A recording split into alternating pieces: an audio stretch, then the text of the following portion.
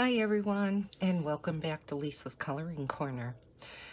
When I was going through my epic coloring book collection, one of the parts showed the William Morris books that I have and I had a request from a subscriber to do a complete flip through of his books. So that's what we're going to do today. I have three of his books. So the first one that we're going to go through is this one. And it just says William Morris Coloring Book. Brooklyn Museum by Pomegranate, I'm assuming is the publisher. So, maybe I should, I don't know if I can, no, maybe not. I was going to say maybe I can zoom you in a little bit, but I guess not on the front cover, well, maybe I can a little bit so that you can see a little bit better. Um, just when I show these, you can see they're numbered one, two, three. So this is going to represent the artwork that is throughout the book. And as you can see, they are just beautiful. He is an awesome artist. Let's get you back out so you can see the pages better. So, like I said, we're just going to do a complete flip through. They are numbered on the bottom to correspond with the pictures that are in the front of the book. So each one has the name of a pattern of his.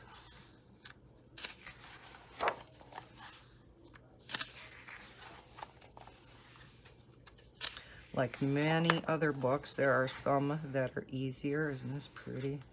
Some that are more detailed.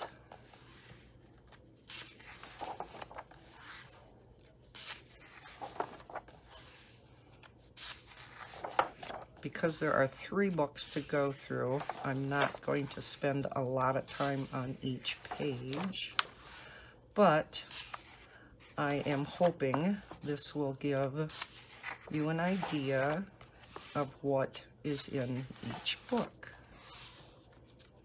Especially to that subscriber that requested the flip through of these books.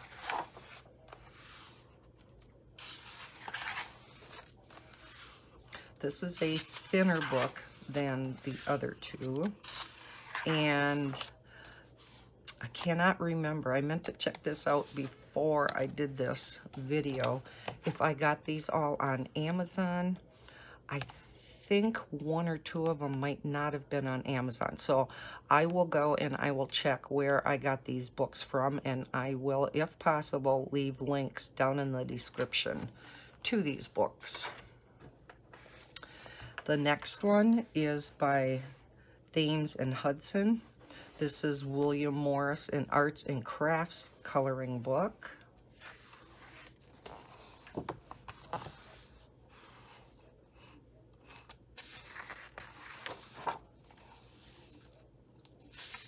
There is an introduction in the beginning of this book.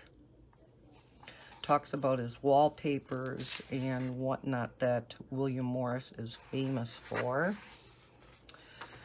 It has a colored version of the picture here.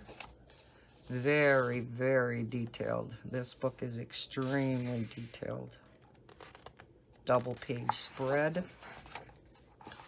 Then it talks about this particular pattern. This one is nature. And again, a colored in version. And then the one to be colored in has a light cream background on this particular one. Isn't that pretty? Yours to color in. Here's a beautiful peacock.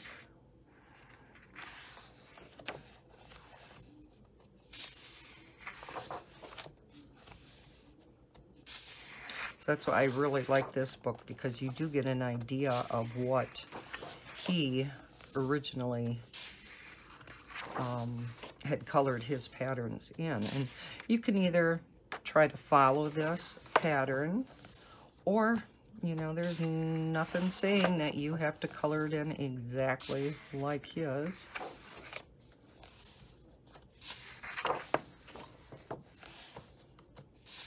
I believe most of us, you know, when when we have the books where it shows you the colored in version and then one that you color in. Probably most of us try to tailor our picture after theirs. But again, nothing saying you have to.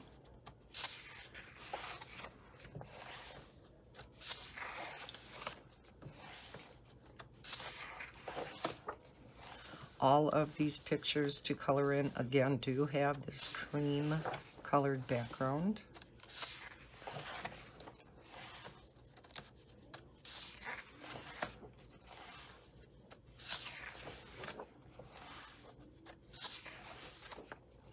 I love the colors that he uses in many of his pictures. The lines are very light as you can see. I'm hoping it is showing up in the camera. I like this.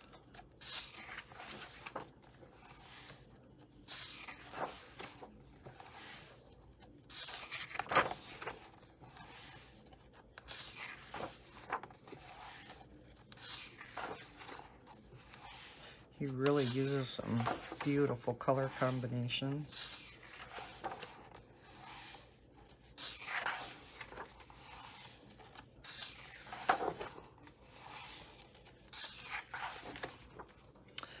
Then in the back of the book, it says captions.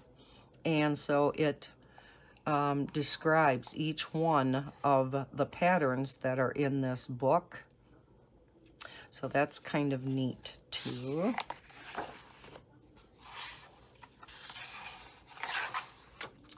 And that is the end of that one. Then the last is called William Morris Designs. And this one says it's adapted by Emanuela Carletti. I do have a, a, few pictures marked in here that I want to color. This folds out and shows you all of the, the designs in this particular book. And again, they're numbered. This is by Hamlyn as the, I'm assuming again, the publisher. Then it explains, it has a contents page, which again numbers each one of the patterns or wallpapers and gives you a page number that each are on. Here it gives you a page which talks about William Morris. He was born in London in 1834 and yeah, just talks about him. Here on this page down at the bottom gives you the name of that particular pattern or wallpaper.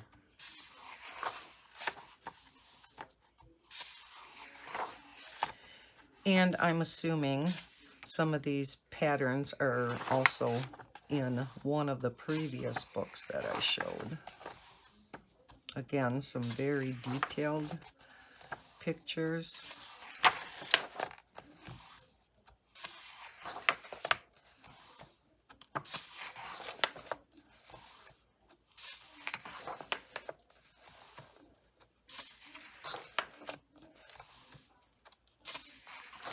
Would almost have to use fine liners in some of these. Wow not a picture that you're going to sit down and get done in an hour or two.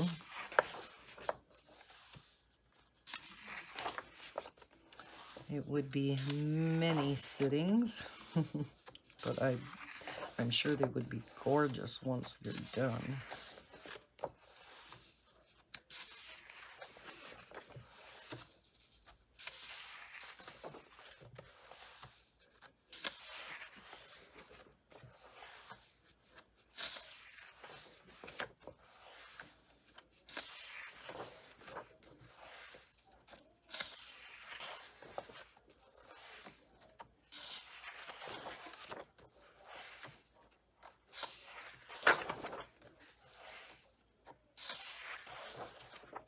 Wow, look at that one. Woohoo.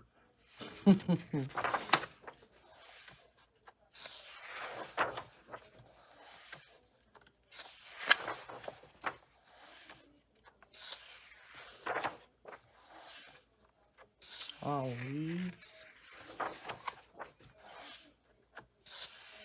Acorns.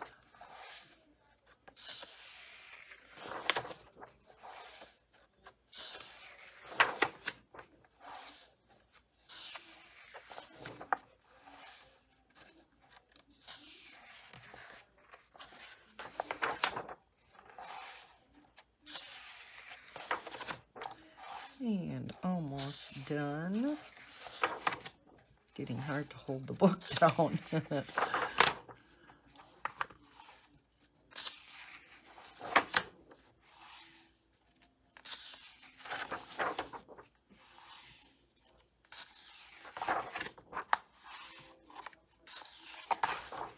and on the back, again, this folds out and continues on with the numbers of the pages and shows a colored in version of each of the patterns.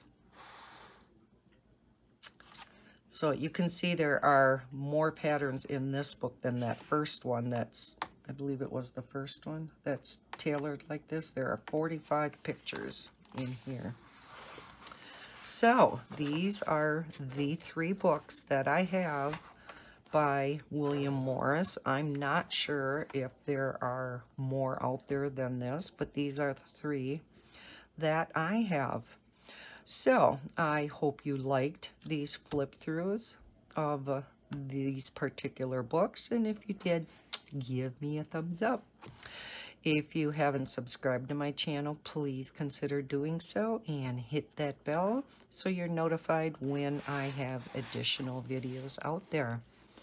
I hope everyone has a terrific day. We are having another snowy day um, with another big snowstorm hitting this weekend. Yippee! and I hope every, I already said that, has a terrific day the rest of the week and happy coloring.